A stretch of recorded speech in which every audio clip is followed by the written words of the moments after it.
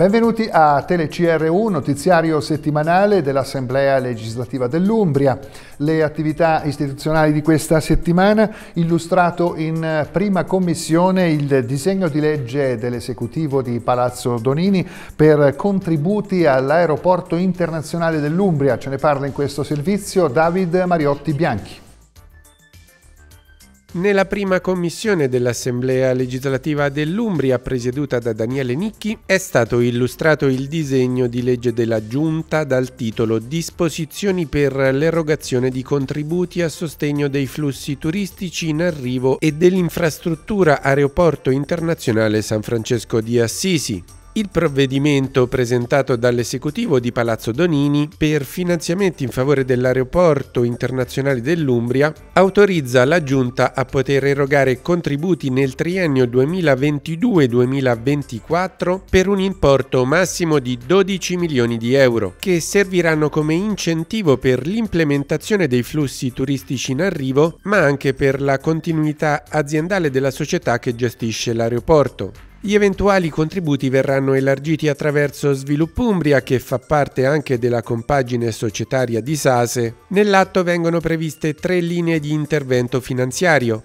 Misure di aiuto a sostegno dell'economia nell'attuale emergenza Covid, che ancora per l'anno in corso sono consentite. Il sostegno all'operatività e agli investimenti di aeroporti che registrano un traffico inferiore ai 700.000 passeggeri annui. E infine sovvenzioni alla Sase per incentivare incentivare i vettori aerei a implementare nuove rotte o a consolidare quelle esistenti per il sostegno dei flussi turistici. L'obiettivo è il rilancio dell'aeroporto con l'aumento del traffico di passeggeri, così da contribuire al superamento dell'atavico isolamento dell'Umbria e alla valorizzazione degli ingentissimi fondi pubblici spesi negli anni per lo scalo.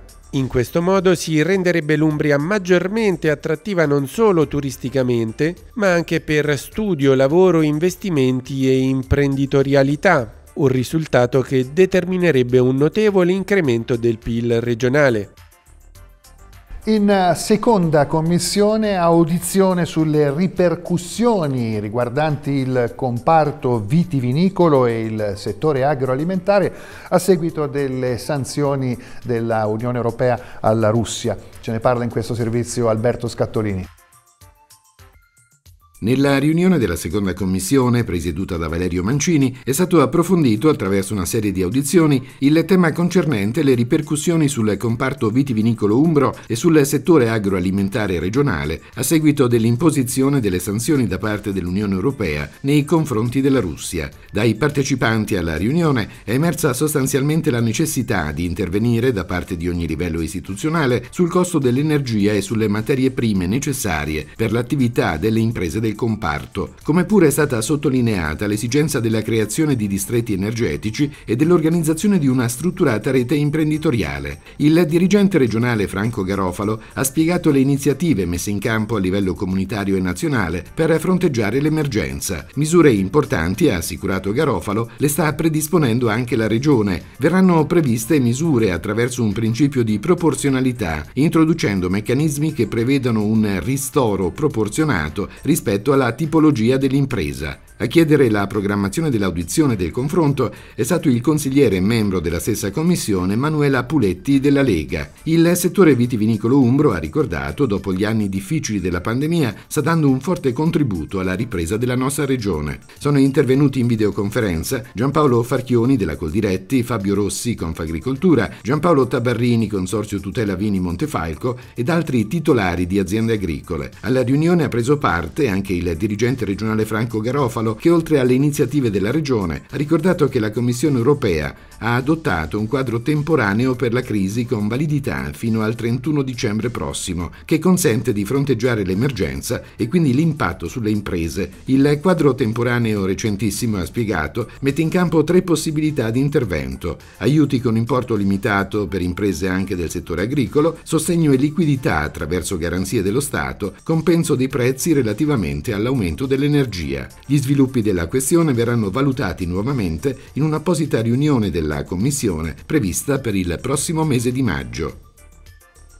In terza commissione, audizione del garante per i detenuti e dei direttori sanitari delle case circondariali dell'Umbria.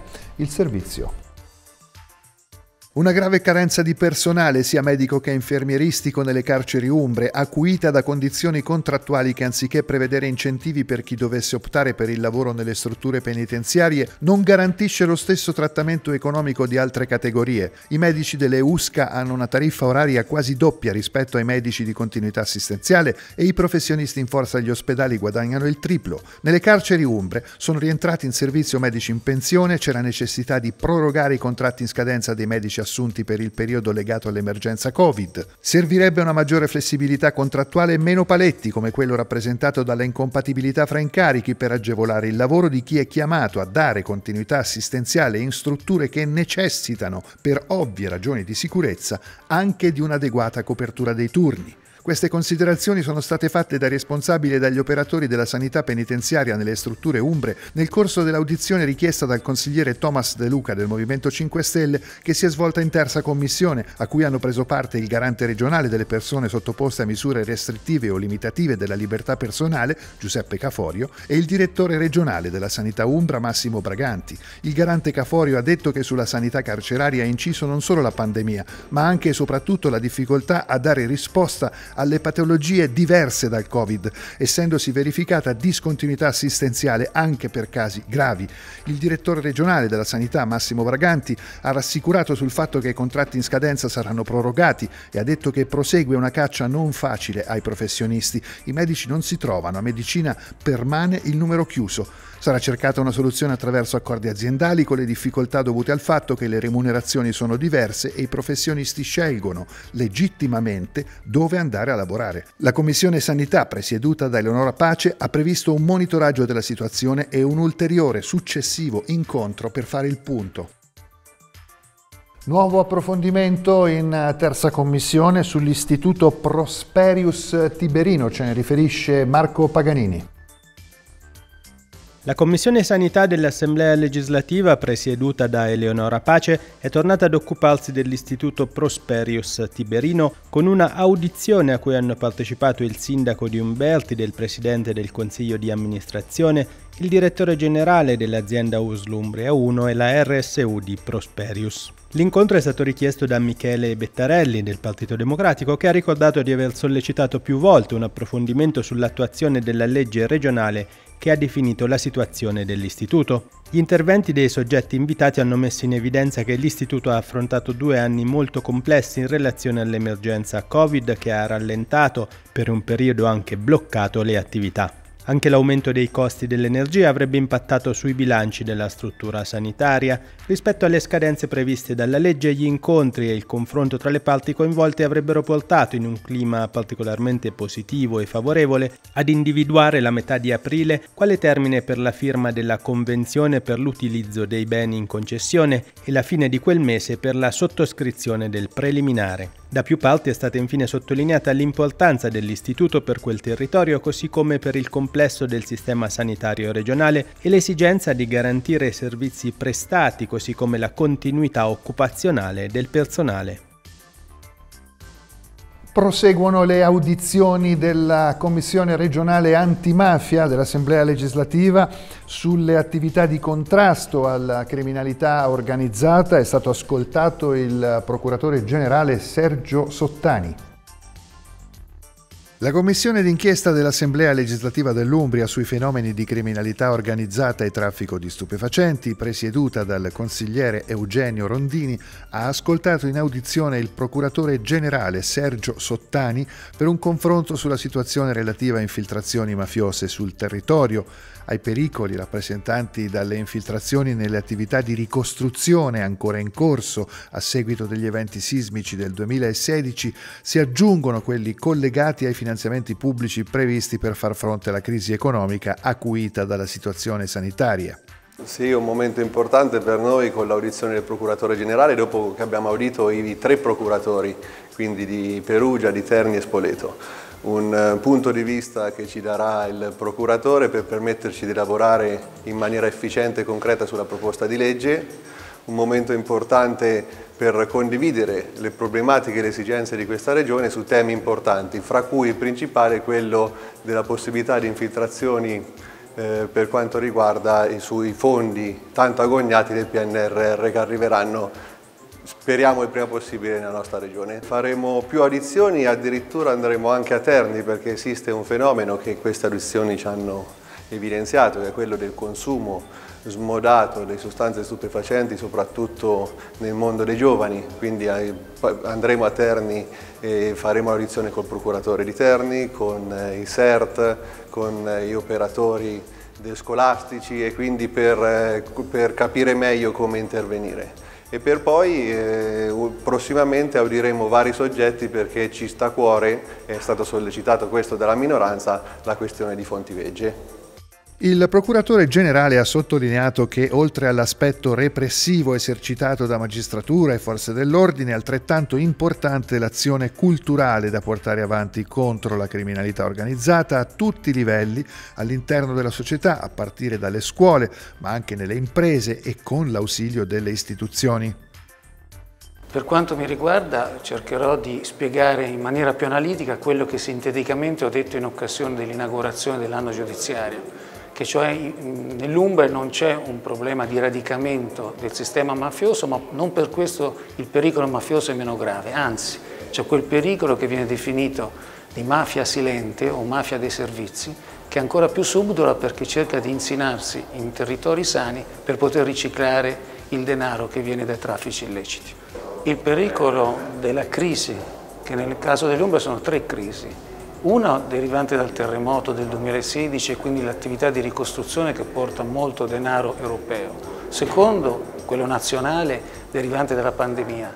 Terzo, dall'ulteriore crisi economica derivante dalla situazione in Ucraina determinerà una situazione di estremo disagio economico e con degli interventi e contributi dal punto di vista dello Stato considerevoli. Purtroppo storicamente è dimostrato come questi contributi siano appetiti dalla mafia e quindi dobbiamo mettere tutte le forme di controllo a tutti i livelli, non solo quindi repressivo penale, per cercare di evitare che quei soldi finiscano nelle mani della criminalità organizzata.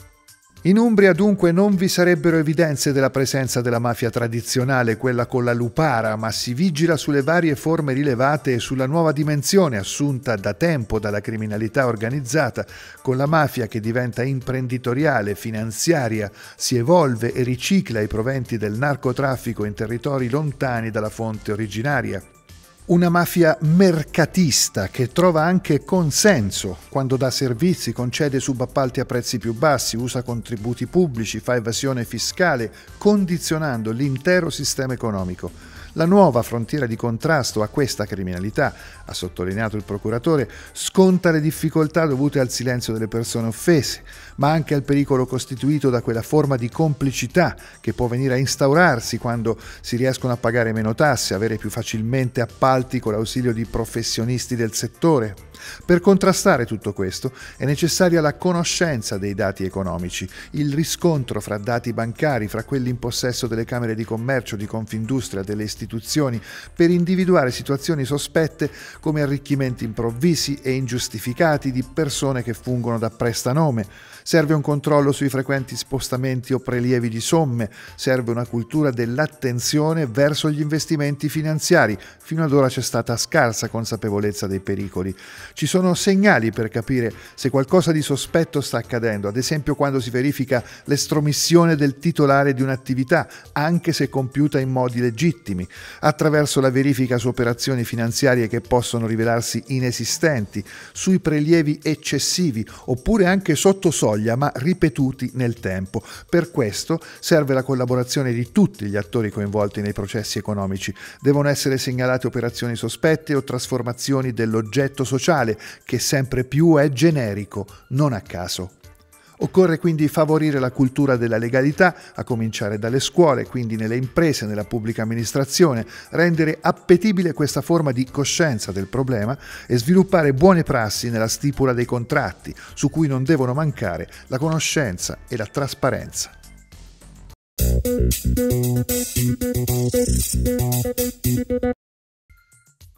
I consiglieri del Partito Democratico Fabio Paparelli e Tommaso Bori hanno annunciato una interrogazione alla Giunta regionale per conoscere i motivi dell'esclusione dei rappresentanti delle organizzazioni sindacali agli incontri sulla vertenza San Gemini con i vertici del gruppo Acque Minerale e gli sviluppi delle trattative in corso rispetto al piano presentato e agli impegni formalmente assunti. Paola Fioroni, consigliere della Lega e vicepresidente dell'Assemblea legislativa, interroga la Giunta regionale per sapere quali sono gli strumenti e i progetti che la Regione intende adottare per contrastare il fenomeno dell'abbandono scolastico e in che modo si intenda incentivare i giovani non occupati e nemmeno impegnati in percorsi di istruzione a riprendere gli studi, quindi quante risorse destinare a questo scopo dai fondi della missione 4 del PNRR. Thomas De Luca, consigliere regionale del Movimento 5 Stelle, avanza una proposta di legge sulle norme per l'adattamento ai cambiamenti climatici e contrasto all'emergenza ambientale, un provvedimento con cui la Regione dichiari ufficialmente lo stato di emergenza climatica sviluppando un piano di adattamento che tenga conto dell'aumento delle temperature e delle conseguenze. La proposta prevede un comitato tecnico-scientifico che valuti i possibili scenari e sviluppi strategie di adattamento.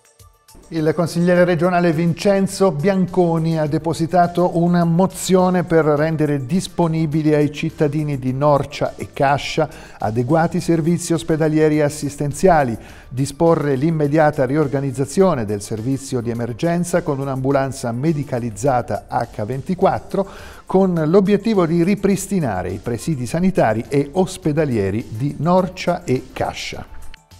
Con questa veloce panoramica sugli atti ultimamente presentati e che a breve arriveranno in aula per il voto si conclude il Telecru di questa settimana in onda sulle emittenti televisive e radiofoniche della regione Umbria, disponibile anche in rete sul sito istituzionale consiglio.regione.umbria.it e naturalmente su YouTube. Grazie per la vostra attenzione, arrivederci.